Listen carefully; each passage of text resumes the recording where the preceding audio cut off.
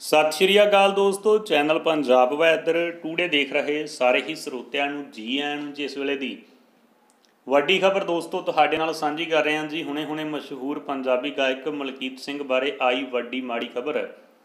ਹਰ ਪਾਸੇ ਹੋਗੀ ਚਰਚਾ, ਵੀਡੀਓ ਨੂੰ ਅੰਤ ਤੱਕ ਦੇਖਿਓ, ਤੁਹਾਨੂੰ ਪੂਰੀ ਖਬਰ ਦਾ ਪਤਾ ਲੱਗ ਜਾਏਗਾ। ਵੀਡੀਓ ਨੂੰ ਲਾਈਕ ਚੈਨਲ ਨੂੰ ਸਬਸਕ੍ਰਾਈਬ ਅਤੇ ਵੀਡੀਓ ਨੂੰ ਵੱਧ ਤੋਂ ਵੱਧ ਸ਼ੇਅਰ ਕਰਨਾ ਨਾ ਭੁੱਲਿਓ। ਪੰਜਾਬ ਦੇ ਮਸ਼ਹੂਰ ਅਤੇ ਹੁਣ ਯੂਕੇ 'ਚ ਰਹਿ ਰਹੇ ਪੰਜਾਬੀ ਇੰਡਸਟਰੀ ਦੇ ਗਾਇਕ ਅਤੇ ਅਦਾਕਾਰ ਮਲਕੀਤ ਸਿੰਘ ਦਾ ਫੇਸਬੁੱਕ ਅਤੇ ਇੰਸਟਾਗ੍ਰam ਅਕਾਊਂਟ ਹੈਕ ਹੋ ਗਿਆ ਹੈ, ਜਿਸ ਦੀ ਜਾਣਕਾਰੀ ਉਹਨਾਂ ਸੋਸ਼ਲ ਮੀਡੀਆ ਰਾਹੀਂ ਆਪਣੇ ਪ੍ਰਸ਼ੰਸਕਾਂ ਨੂੰ ਦਿੱਤੀ। ਉਹਨਾਂ ਸੋਸ਼ਲ ਮੀਡੀਆ ਰਾਹੀਂ ਆਪਣੇ ਪ੍ਰਸ਼ੰਸਕਾਂ ਨੂੰ ਸੁਨੇਹਾ ਦਿੰਦਿਆਂ ਕਿਹਾ ਕਿ ਕਿਸੇ ਵੱਲੋਂ ਮੇਰੇ ਇੰਸਟਾਗ੍ਰam ਅਤੇ Facebook social media accounts hack ਕਰ ਲਏ ਗਏ ਹਨ। ਉਹਨਾਂ ਨੇ ਅੱਗੇ ਕਿਹਾ, ਮੇਰੀ ਇੰਸਟਾਗ੍ਰam ਅਤੇ ਫੇਸਬੁੱਕ ਤੋਂ ਕੋਈ ਪੋਸਟ ਪੈਂਦੀ ਆ ਤਾਂ ਕਿਰਪਾ ਕਰਕੇ ਉਸ ਨੂੰ ਸ਼ੇਅਰ ਜਾਂ ਨਾ ਲਾਈਕ ਨਾ ਕੀਤਾ ਜਾਵੇ, ਨਾ ਹੀ ਕੋਈ ਉਸ ਤੇ ਰਿਪਲਾਈ ਕੀਤਾ ਜਾਵੇ, ਕਿਉਂਕਿ ਇਹ ਮੇਰੇ ਵੱਲੋਂ ਕੀਤੀ ਪੋਸਟ ਨਹੀਂ ਹੋਵੇਗੀ।